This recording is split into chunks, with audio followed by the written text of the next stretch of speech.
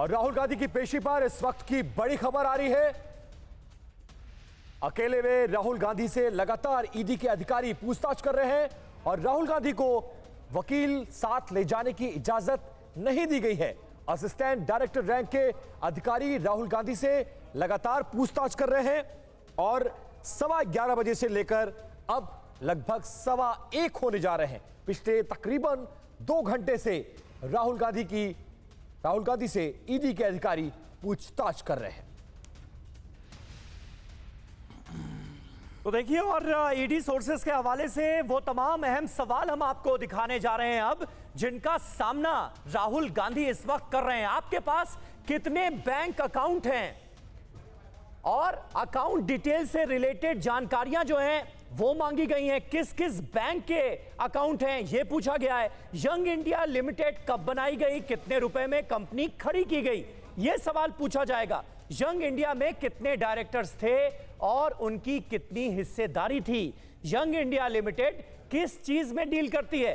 दरअसल कंपनी का प्रोफ़ाइल क्या है यह भी जानने की कोशिश की जाएगी। वो तमाम सवाल लगातार ग्राफिक्स के ज़रिए हम आपको दिखा रहे हैं जिनका सामना आज राहुल गांधी को करना होगा। जितेंद्र शर्मा हमारे सहयोगी इस वक्त हमारे साथ मौजूद हैं। जितेंद्र, थोड़ी देर पहले सोर्सेस के हवाले से यह खबर भी सामने आई कि कुछ ऐसे सवाल हैं जिनका जवाब राहुल गांधी के पास नहीं है।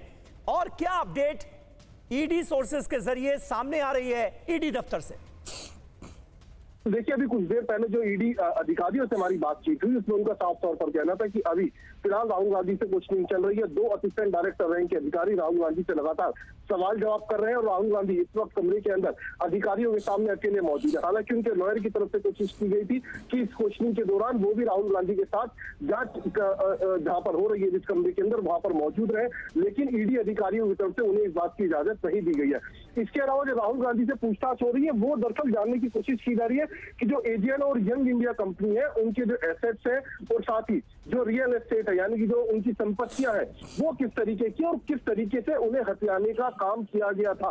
और ये जो स्वामित्व है, ये किस किस के पास मौजूद और ये जो स्वामित्व है, ये किस किस के पास मौजूद है? साथ ही डोटेक्स एक कंपनी है मर्चेंडाइज लिमिटेड कलकत्ता की उस कंपनी के ज़रिए राहुल गांधी के अकाउंट में कुछ पैसे भी गए थे, बताया जाता है, ऐसा आरोप लगाया जा रहा है। खुद स्मृति ईरानी ने भी ये सवाल खड़ा किया कि आखिरकार डोटेक्स मर्चेंट मर्चेंडाइज लिमिटेड का। राहुल गांधी से क्या कनेक्शन है? राहुल गांधी से इस बारे में पूछताछ की जाए। तो ये जो कंपनी है इस कंपनी से राहुल गांधी का क्या संबंध है? इस बारे में भी राहुल गांधी से सवाल जवाब किए जा रहे हैं। लेकिन सबसे हैरानी की बात यह है कि इन सवालों का राहुल गांधी के पास कोई सीधा और स्पष्ट जवाब नहीं है। राहुल गांधी बरगलाने की कोशिश कर रहे हैं और ईडी अधिकारियों के सामने यही मुश्किल सामने पेश आ रही है अभी फ़िलहाल। जी। शुक्रिया आपका इस अपडेट के लिए। नज़र आप बनाए रकम लौटेंगे आपके पास। फ़िक्र आपकी सोमवार से शुक्रवार रात नौ बजे सिर्फ़ टीवी नाइन भारत वर्ष पर।